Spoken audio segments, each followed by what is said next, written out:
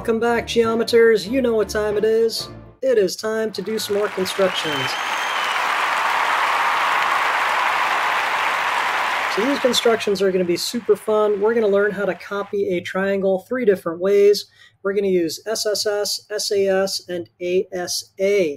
Now these constructions are actually super easy because if you think about it, all you need to know is how to copy a segment that's copying a side. That's the easiest construction of all. And then you also need to know how to copy an angle, which is also pretty simple. So let's go through them right now. Okay, so don't forget your tools, protractor or a straight edge, compass, and again, I like to use colored pens. Um, I suggest you use colored pencils. Do not use pen, please. Okay, so the first construction we're going to do is we're given a triangle, triangle ABC, and we want to copy this triangle using SSS. Okay, so be careful. You have to make sure that you show all the necessary um, arc marks and leave the arcs on there. Okay, so here we go. So to copy um, a triangle using SSS, first we're just going to copy one side. Let's go ahead and just copy this side that's on the bottom. So to copy a side, all you have to do is just start with this ray. Okay, this point is going to correspond to vertex A. So I can call it A prime. I don't have to. I mean, I could call this JKL or whatever. Just follow the instructions, whatever the worksheet or the test tells you to do. Okay, but I'm just going to call this A prime so you guys can tell that it corresponds to A. Okay, so how do I copy a segment? Super easy. It just takes me a while with this bow compass because I have to turn the dial. Okay, but I just put my compass on A and open up the pencil part to C. Now this part is really important. Make sure you strike an arc on the original. Okay, that arc has to be there um, for you to earn points. Okay. Then I just strike that same arc down here and this corresponds to vertex C. So I'll call it C prime. So now I want to know, I'm going to just go ahead and go to this side next. So all I have to do is just open up my compass from C and open it up to point B. And again, make sure you strike an arc on the original. And then I do the same thing up here, but I don't know how long, I'm just going to make it really long because I don't know where exactly on that arc point B is going to be. Okay, so then what I'm going to do is I'm just going to chop off that arc from A to B. So I simply open up my compass from A to B, and I strike an arc there. So notice that I have one, two, three arcs on my original, strike that same arc up here, and that's my third vertex. That is point B.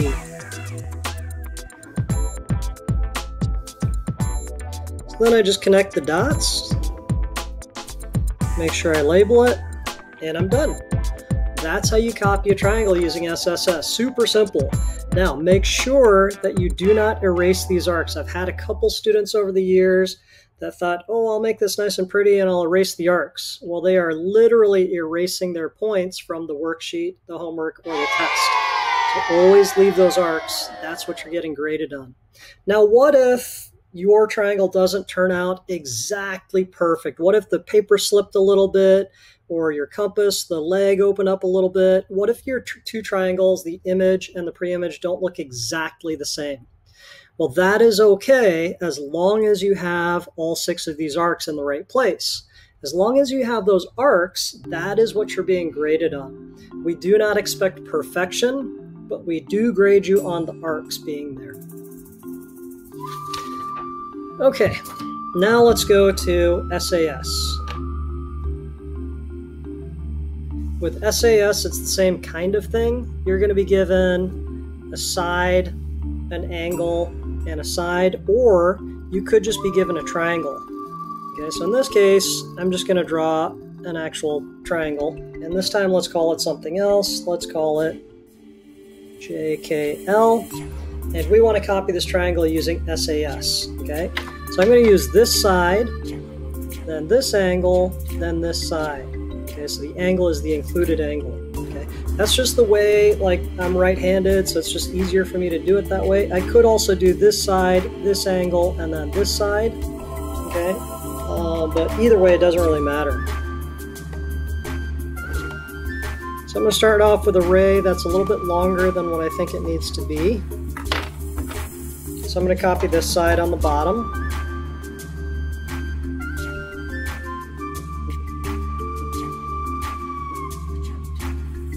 Okay, make sure you show an arc on the original. It's really important for points. And then there's my arc over there. I'm just going to call this J prime, L prime. And now I want to get to K, but what I'm doing is SAS. Okay, so I can either, because this is the side I chose, this is an included, included angle if I want to go this way, or I can use this angle if I want to go that way. I'm just going to use this and go that way. So now how do we copy an angle? Well, to copy an angle, what you need to do is open up your compass to a medium setting. It doesn't matter exactly how big. Okay, just some kind of medium setting. And make an arc.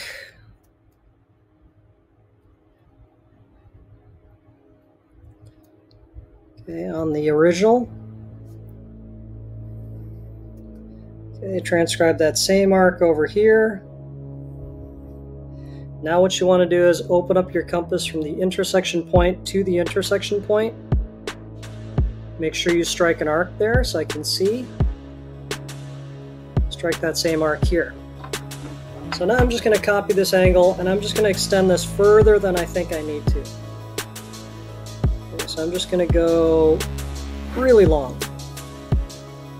Okay. So now I have S and I have A. Now all I need to do is just measure how big this side is using my compass. Okay, so that's my other side. And that's my SAS.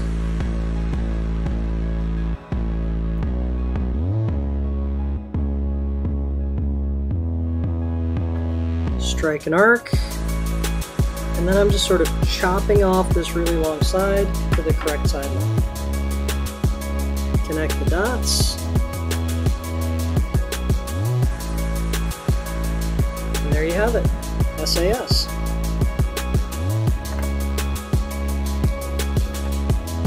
Alright, the last construction we're going to do today is ASA. So again, you're going to be given a triangle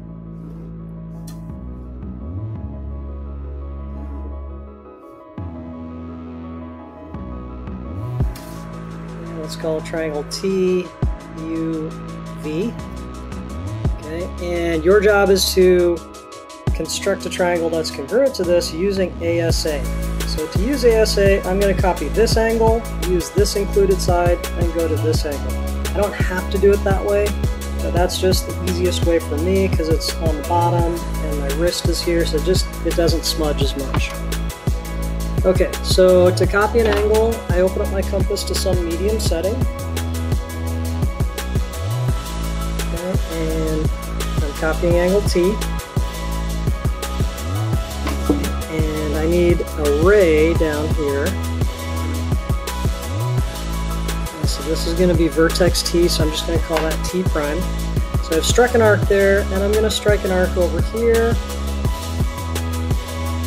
this arc corresponds to that arc. Then I go ahead and open up my compass from intersection point to intersection point and strike an arc on the original. And I transcribe that same arc over here on my image.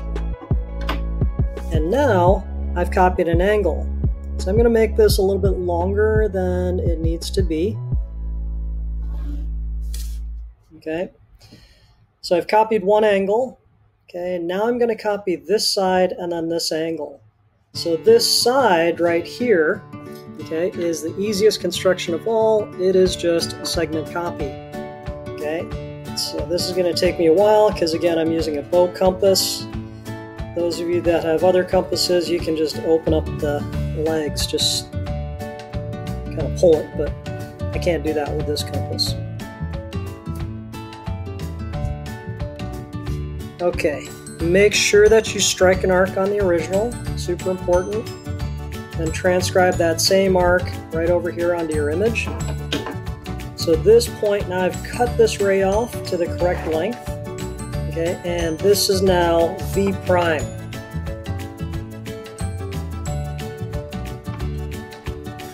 So now what I need to do is I just need to copy this angle. So open up your compass to some medium setting and strike an arc on the original right here.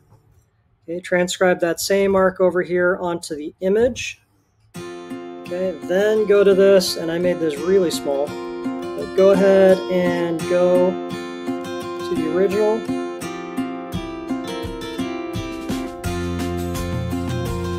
And strike an arc right there. And then strike that same arc right here. Boom. Just like magic, all you have to do is connect these two dots. And there's my triangle. Ooh, slid a little bit. That's okay. Like a little minor mistake like that won't cost you any points. Okay. What happened was as I was drawing this, my straight edge slipped a little bit. Okay. I don't have to go and redo this. Okay. This is perfectly fine. Okay. So now, what am I grading you on? arc, arc, arc, arc, arc, arc, arc, arc, arc, arc. I sound like a sound like a sea lion or something. But anyways, that is ASA. Those are your three triangle constructions. I hope you enjoyed this video. Again, if you're not sure about anything, remember you can always go to mathopenreference.com, go to constructions, and these are labeled in there. Thanks, guys.